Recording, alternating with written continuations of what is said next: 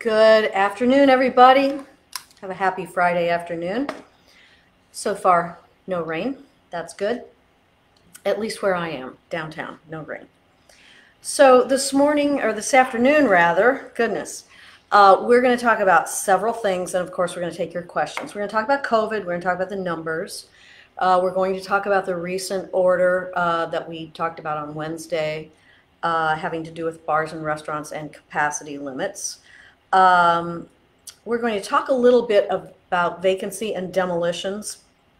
On Monday, I told you we were going to talk about that on Wednesday, but there was so much news on Wednesday we didn't get to it. Um, and we'll take your questions, several several things. So, okay, so COVID. Let me tell you a little bit about the numbers today. Uh, yesterday we had 66 new COVID cases. The day before, this is in the city of St. Louis, we had 69, uh, 60, 35. So we've been running in the 60s this week for the most part. We'll get today's numbers 5 o'clock, 6 o'clock in that in that time range. Um, there's something noteworthy about this week's numbers, not the number of cases, but what we do is we look at what date did the individual have the test that we are reporting that we received the results of on yesterday. And I think this week looks a little better than the prior week in that most of the tests are uh, within a week of when the test was taken. Uh, there are a few older than that, but not too many. So that's good. It appears that it's taking people uh, three days, four days, six, seven days, and not too many older than that. Now, one of the things that we know is um, that we still may be receiving uh, additional test results from the state because, you know, midstream in the middle of a pandemic, um, through uh, not really the state's fault, but uh, you know, they decided to change uh, technologies. Well, that's a tough time to implement a new system. And so when you do that, sometimes you get some backlog and backup. That's not something we had any control over, but we still uh, may be receiving some results from the state. Now, um, those are the new test results. As of uh, two days ago, there were 267 people, COVID positive cases in the hospital.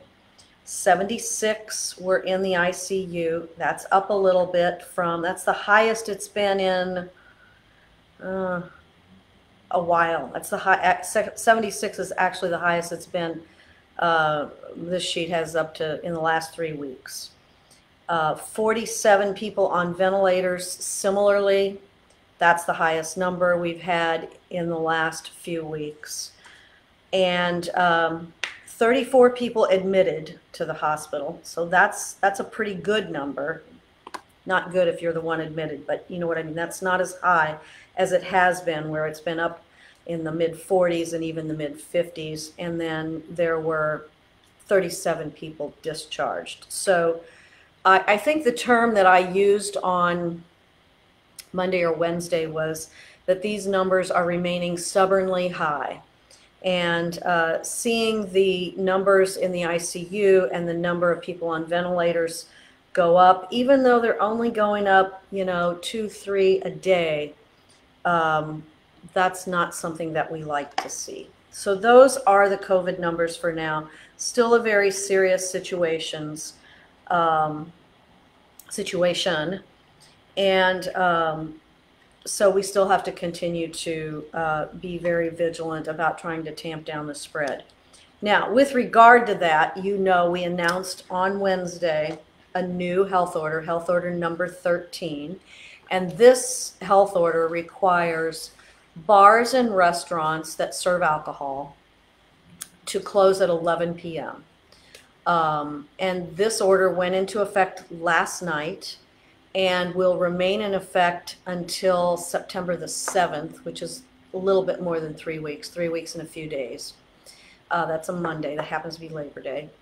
Uh, so it'll remain in effect until then.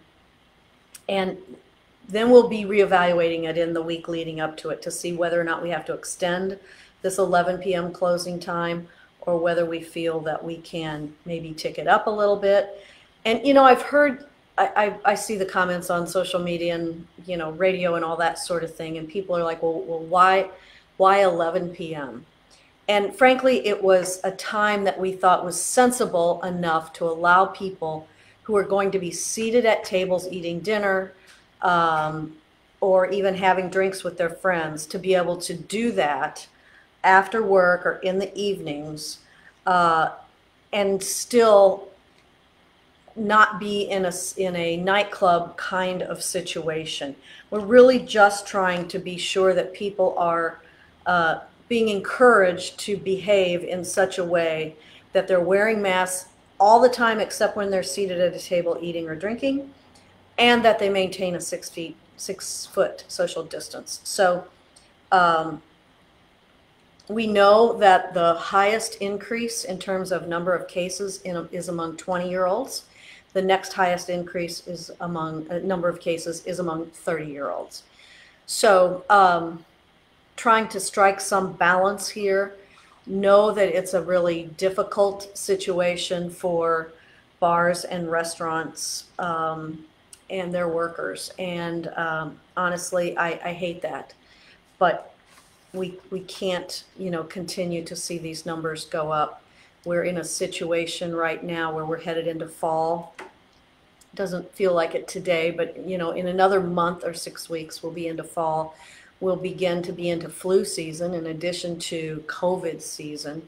And um, we really just trying to keep as many people safe as possible and put some guardrails up or some guidelines up um, to allow people as much um, ability to make their own decisions as possible, but without encouraging those kinds of situation which lead to um, having super spreaders and a real real increase. So that's that's the reason for it. As I said on Wednesday, this is a move that I hope we would never have to take, um, but we do, and we are apparently going to be living with COVID for a long time.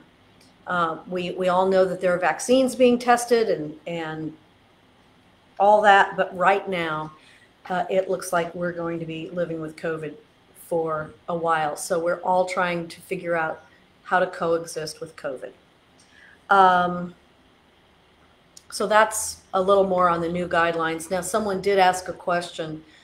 Um, you know, a, a, restaurant that is, I'll, I'll give a couple of examples here uh, maybe like Courtesy Diner or a breakfast place that doesn't serve alcohol, uh, or a McDonald's or fast food place, they can still stay open uh, past 11 o'clock because primarily um, there's a lot of carry out there. But you know, some people do still need to get some food after 11, and, and they can still stay open. Um, because it's not a situation with a lot of mixing and, and mingling in, in those situations. Still got to wear a mask, still have to be six feet apart but uh, they can still stay open. Um, talk about vacancy for just a minute. Vacancy slash demo. So in the city of St. Louis, there are um, really thousands, of almost, and this was this was a year ago, so the number's not too different now. Uh, 25,000 vacant lots and buildings. Most of the 25,000 were lots, vacant lots, but about 7,500 or so were vacant buildings. And about half of those were owned by LRA, uh, Land Reutilization Authority. Um, three years ago, we began funding um, a demolition program to talk about the, to take down the worst first, is the way I said it. Now I'm looking for my numbers and what do I do with it? Here they are. Okay. Um, take down the worst buildings first because I have to tell you, nothing good happens in a vacant building. And if you have a building that's been sitting there for 10, 20, sometimes 30 years vacant, usually the roof is collapsed in, the back or a sidewall's fallen off. There are still good folks living on that block with one, two, three uh, buildings that are in terrible shape. So we began uh, a demolition program to take down those buildings that were too far gone to be saved. And I guess I just want to report that in, um, this is calendar year, but in 2017, um, we had only taken down 32 buildings. This was before this program really kicked in.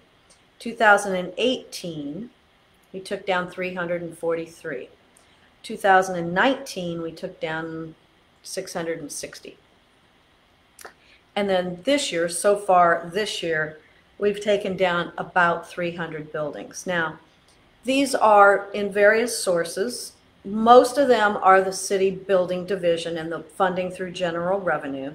You know, it costs about twelve to fifteen thousand dollars to take down a vacant building.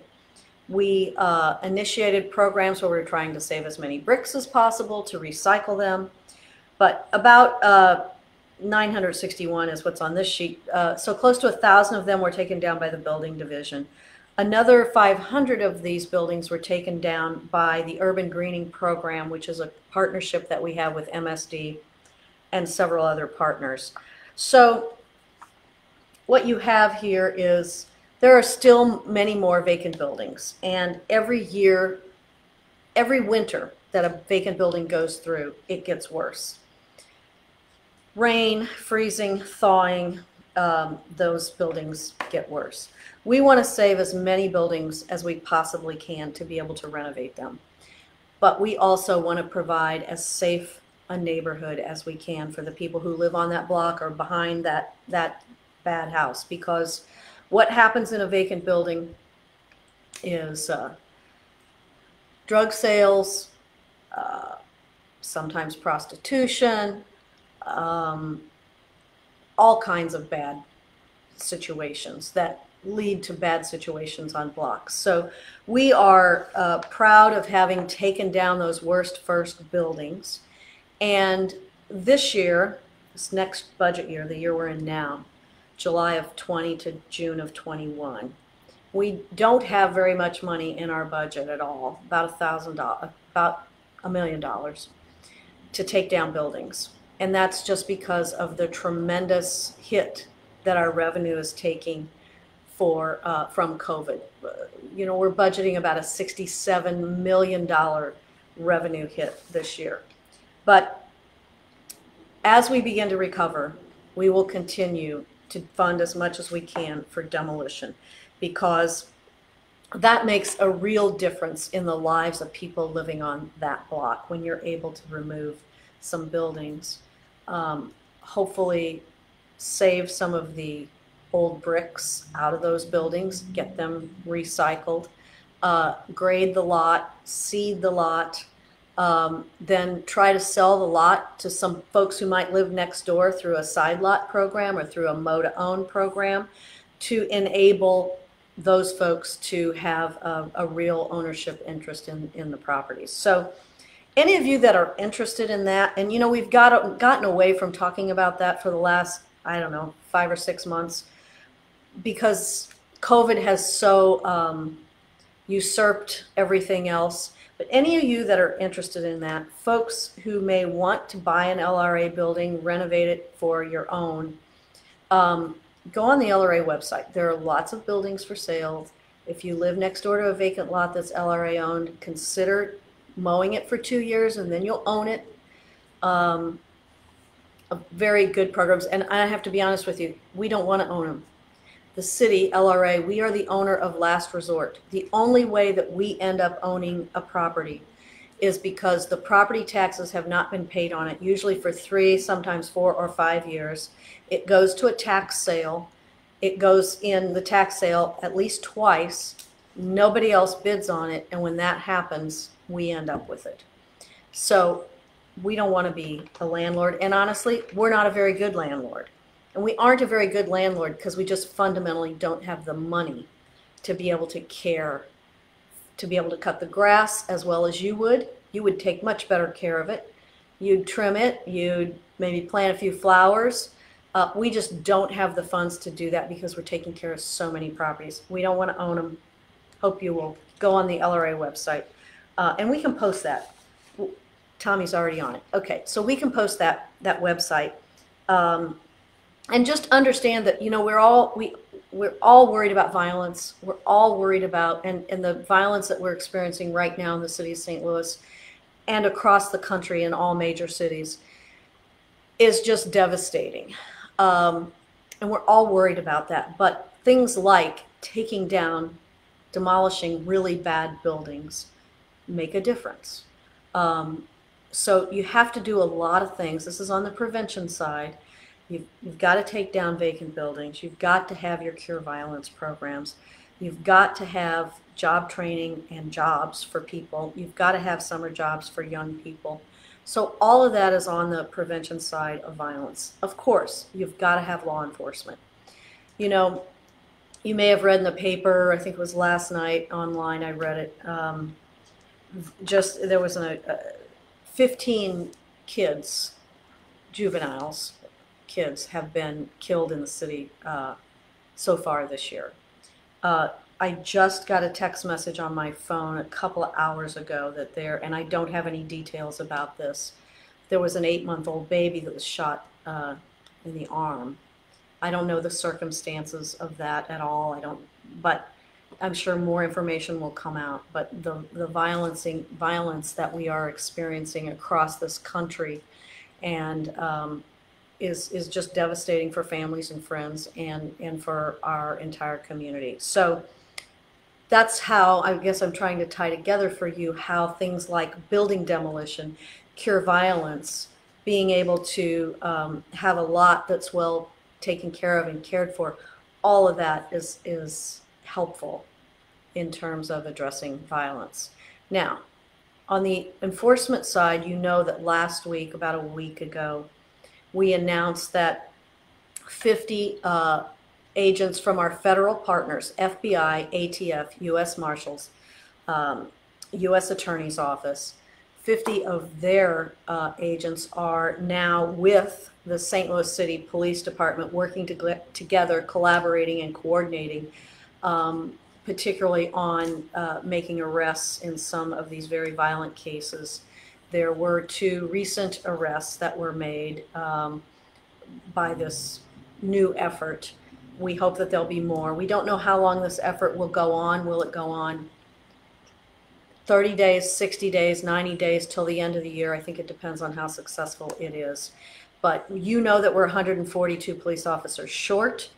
Um, these 50 uh, additional agents embedded with our police department will be a big help. So um, it, it's a whole continuum of things. Um, what else was I going to? Oh, one more thing. MLS. You remember how excited we were to get an MLS team? I know I was. I know you are too. And uh, here we are talking about extremely serious things violence, COVID. But we also have to take a minute to um, celebrate, I guess, the new layout now going to be called St. Louis City SC. And you know, I've heard some people who like the name and some people who don't like the name. You know what? I love the name. I, I would love whatever they named it, frankly, because I'm so excited to be able to have an MLS team here.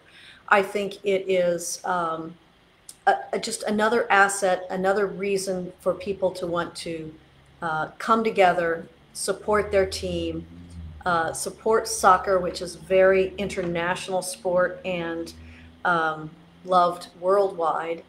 And they're going to start playing now. They deferred it till 2023. And so by 2023, um, we all believe, I hope you believe too, I certainly hope this is true, that we'll all be able to come back together. I hope it's much sooner than that, by the way, but we'll all be able to cheer on our, our new team St. Louis City SC and uh, cheer on our new team in the new stadium, which if you have, I know everybody doesn't drive downtown every day like I do. If you have not had a chance to look at the construction of the new soccer stadium, drive down uh, Olive Street or Market Street, either one, you can get a good view from either street.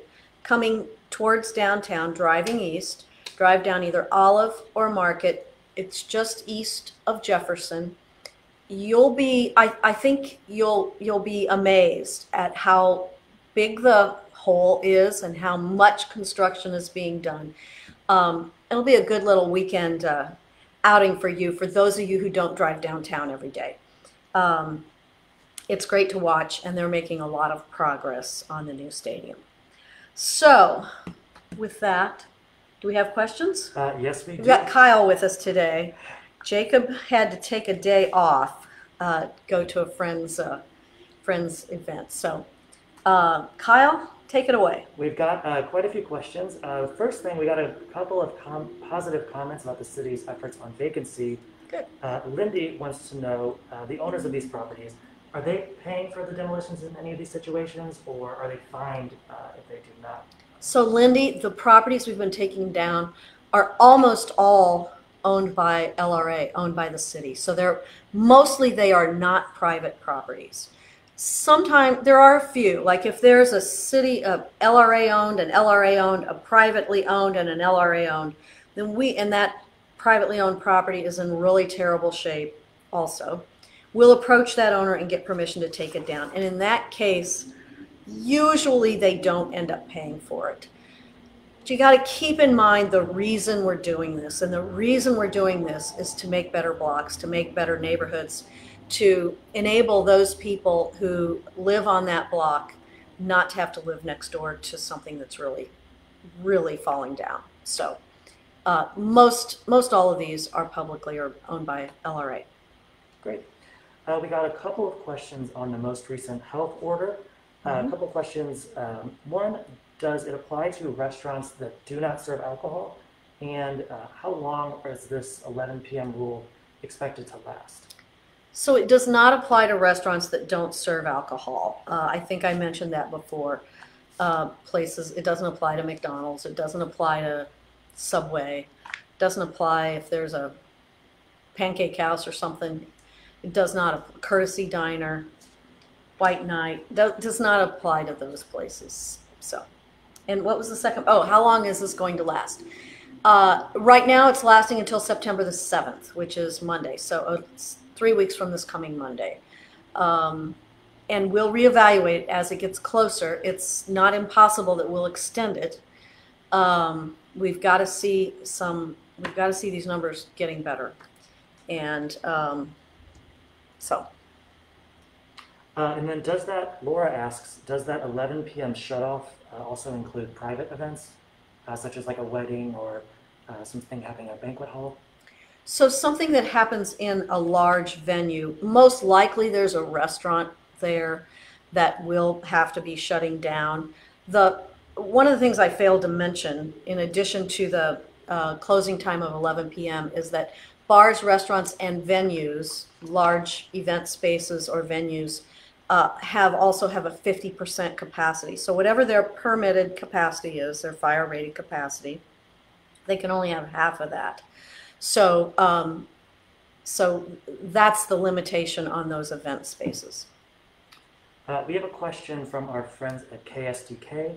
Uh, Colin Jeffrey uh, wants to know Governor Pritzker recently uh, stated that uh, residents of Illinois who travel to Missouri uh, could potentially be causing economic harm uh, to those residents when they come back to Illinois. Uh, do you have any response to those comments by the governor? Well, Colin, thanks for that question. So, you know, I applaud Governor Pritzker for trying to uh, keep his residents and keep his state as safe as possible. Having said that, though, we all know that there are many people in Illinois who work in downtown St. Louis and people in St. Louis who work in Illinois. Um, and so there is a lot of back and forth. I'm not sure exactly the context of that question, but don't forget St. Louis City and County have also had a mandatory mask order in place, like Illinois, uh, since July 3rd. So um, hopefully the governor was not referring to St. Louis or St. Louis County. Uh, as you know, the, uh, much of the rest of the state does not have a mask order. But um, I, I understand that governor's just trying to keep his residents as safe as possible and keep his numbers down. So are we. Uh, Another COVID-related question. Uh, Toby wants to know if masks are required outdoors. Uh, He says that he was in Forest Park, uh, saw a lot of people who didn't seem like they understood the meaning of social distance. Hmm, well, it's kind of two different questions, Toby. So, masks are required outdoors if you're going to be within six feet of somebody.